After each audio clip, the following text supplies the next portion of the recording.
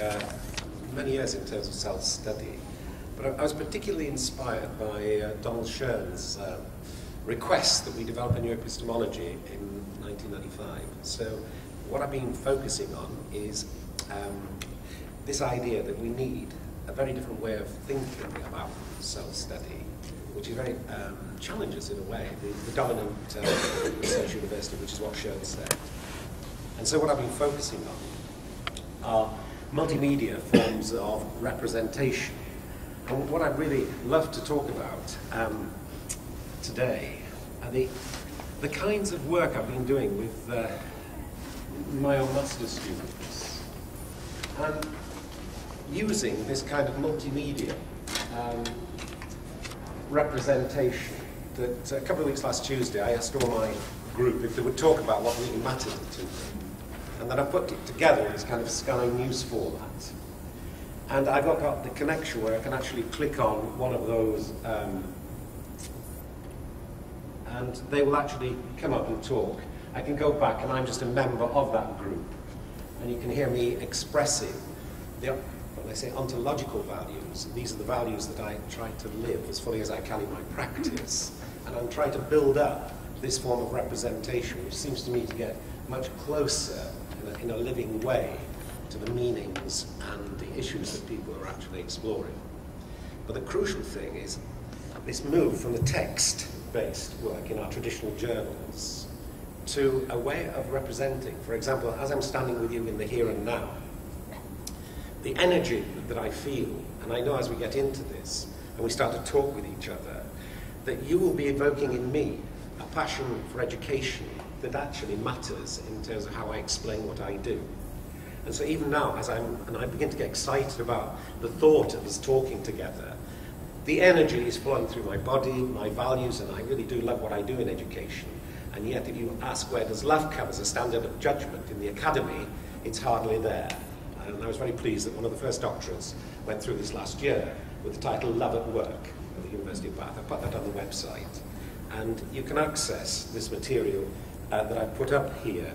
All you need to do, most of you will know that uh, website, and my, some of you will anyway, I think, uh, where you can just go and um, access uh, this paper in the, the top uh, right-hand column of actionresearch.net. You'll just be able to click on that and you get the paper and this multimedia representation which you can then download because all of the images that I put in my paper are actually are video clips on YouTube, stream server that you can actually immediately access connected into the visual narrative. I hope that gives you just a flavour of what I'd like to talk about. Okay, yeah, thanks. All right, so um, each of the five presenters then has given you a bit of a brief overview about what you might expect. Something that you're interested in. But so let me just open it up like that and say, look, is there anything that you're feeling that you'd like to, you know, explore with me about what I was just saying before I actually say anything? So is there anything that you've come with an interest to try? Well, I'm very interested in the visual representation as the text. Very much. Yeah. As far as Okay. Any other? being an education Yes, uh, that was the same thought I had because we are doing a lot of distance education at my university. My university is the Iceland University of Education, and uh, we have students spread all around the country.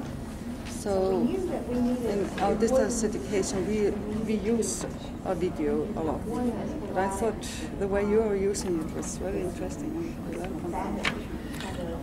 Okay, i what I'll do is when that group are finished with their OHP, um, I'll just go and just show you how I've actually put these visual uh, representations, you know, but also encourage my students to submit for their doctorates, including uh, this kind of visual account of what they're doing. Okay.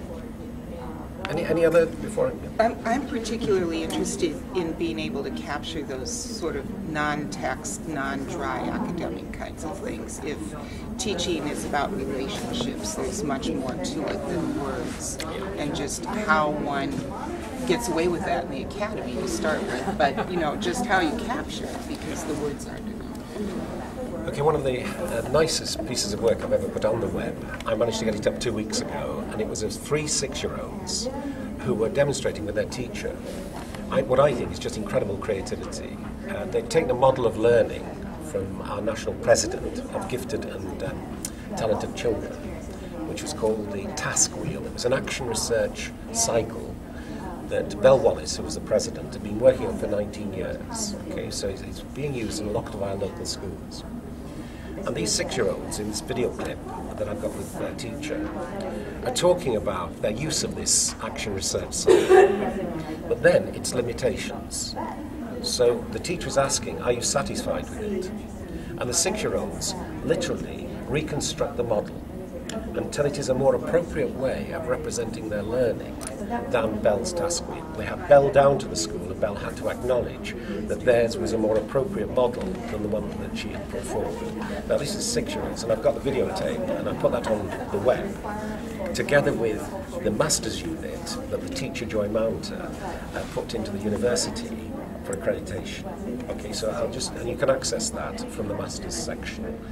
So it, it, it's that um, use of the visual narrative, as, as you're saying, that you need to be able to capture, and this is with parental and ethical approvals, um, so that they can actually put on the web.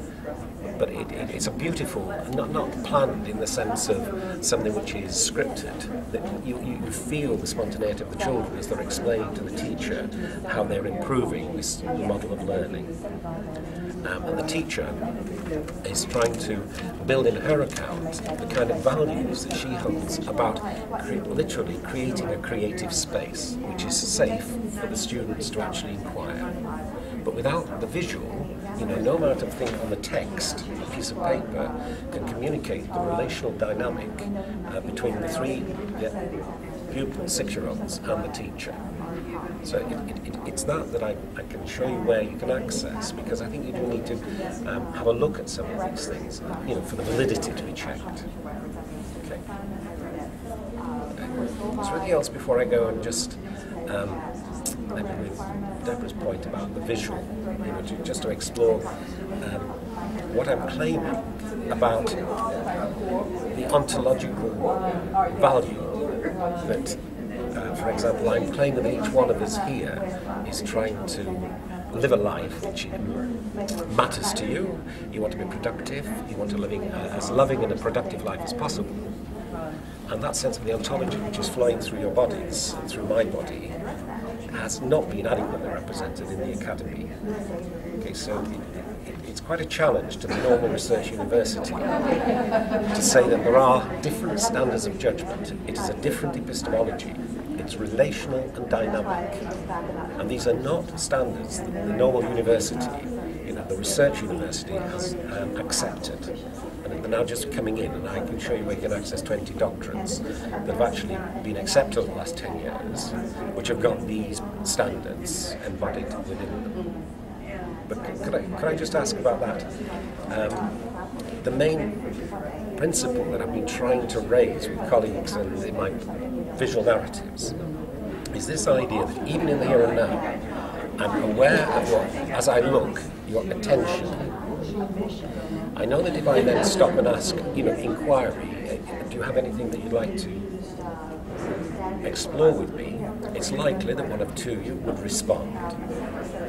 I would then respond back. And we get a responsive and dynamic process going, which would be educational in the sense that I think both of us would be learning something significant. But to explain what I'm doing and what you're doing, I think we would need to bring in this energy I'm feeling. You know, in the here and now, I'm feeling that flow of what I call life affirming energy. Now, whether you can sense that or not, I don't know, but through my body and my pleasure, I imagine that you're feeling something of my own expression of those values. But we very rarely bring those into our accounts to explain our influence in the learning of our students. So let, let me just pause there because it is quite a large claim that you know something fundamental is missing um, from the epistemology of the dominant research university. Can I pause there? Just. would argue with the background would be what we're trying to do. Even though we paid in the Board of Education,